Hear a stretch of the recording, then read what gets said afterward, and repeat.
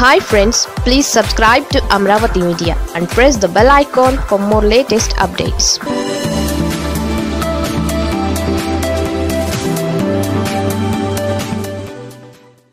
Chandrababu లాంటి ప్రతిపక్ష నేత దేశంలోనే ఉండరేమో. Forty years industry Chandrababu Naidu మనస్తత్వం చాలా విచిత్రంగా ఉంటుంది. అధికారంలో ఉన్నప్పుడు ఒకలాగా ప్రతిపక్షంలో ఉంటే మరోలా వ్యవహరిస్తారు. మామూలుగా ఎవరైనా ఇలాగే వ్యవహరిస్తారని అనుకోవచ్చు. కానీ మరీ చంద్రబాబులా ఎవరూ వ్యవహరించరు.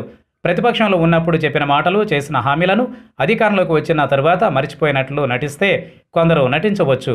ప్రతిపక్షంలో ఉన్నప్పుడు చేసిన హామీలను అధికారంలోకి వచ్చిన తర్వాత గాలి కుదిలేసి మళ్ళీ ప్రతిపక్షంలోకి వచ్చిన తర్వాత వాటి గురించే పదే పదే మాట్లాడితే ఎలాగుంటుంది?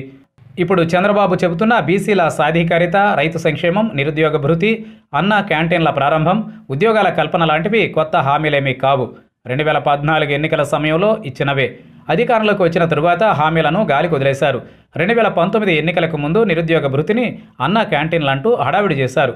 రెండు వేల పంతొమ్మిది ఎన్నికలకు ముందు నిరుద్యోగ భృతి అన్న క్యాంటీన్లంటూ హడావిడి చేశారు. అయితే అప్పటికే జనాలు చంద్రబాబును నమ్మడం మానేశారు. దాని ఫలితమై రెండు వేల పంతొమ్మిది ఎన్నికలలో టీడీపీ ఘోర ఓటమి. మళ్ళీ రెండు వేల ఇరవై నాలుగు ఎన్నికలు వస్తున్నాయి కదా అందుకనే పాత హామీలనే కొత్తగా ఇస్తున్నారు. బహుశా జనాల మెమరీ అంటే చంద్రబాబుకు బాగా చులకనలాగుంది. ఇక చట్టం రాజ్యాంగం ప్రజాస్వామ్యం ప్రతిపక్షాలు కూడా అధికారంలో ఉన్నప్పుడు పట్టించుకోరు. ఇవన్నీ కూడా ప్రతిపక్షంలో ఉన్నప్పుడే రెగ్యులర్గా గుర్తొస్తుంటాయి. తాను అధికారంలో ఉన్నప్పుడు రాష్ట్రంలో అసలు ప్రతిపక్షాలు ఎందుకని నిలదీశాయి? ప్రత్యేక హోదా రైల్వే జోన్ అంశాలపై కేంద్రంపై ఒత్తిడి తెచ్చేందుకు ఆల్ పార్టీ మీటింగ్ పెట్టమంటే తనకు చేత కాకపోతే కదా ఆల్ పార్టీ మీటింగ్ పెట్టాల్సిందని ఎదురు ప్రశ్నించారు. ఇప్పుడేమో ప్రతిదానికి ఆల్ పార్టీ మీటింగ్లు అంటూ డిమాండ్లు చేస్తున్నారు. అమరావతి శంకుస్థాపన లాంటి కార్యక్రమాల్లో ప్రతిపక్షాలకు ప్రాధాన్యత ఇవ్వకుండా అదేదో తన పార్టీ కార్యక్రమంలా నిర్వహించేశారు.